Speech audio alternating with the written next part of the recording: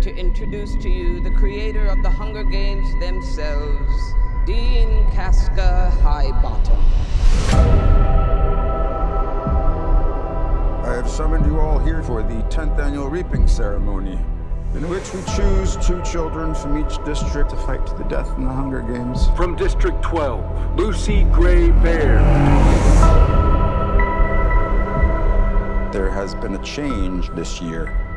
As a mentor, Mr. Snow, your role is to turn these children into spectacles, not survivors.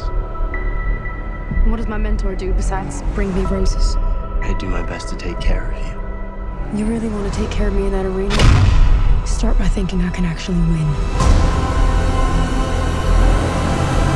I'm Lucky Flickerman, first ever host of the Hunger Games. Enjoy the show. Five, four, three, two, run. Enjoy the show. What happens in there? Fueled with the terror of becoming prey. See how quickly we become predator?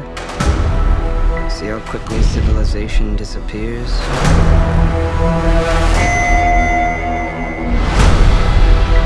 There's a natural goodness built into us all. We can step across that line into evil or not.